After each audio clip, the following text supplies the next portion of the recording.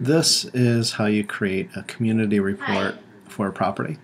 You basically go into any property. Um, so what we'll, we're going to do is go into a listing that we have here.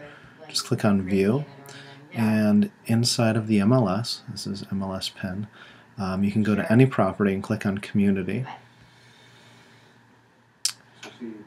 and it will create a report for you. So once this report's open, just click on PDF. Someone hand it to me or send it to me? Yeah, she was in the U.S.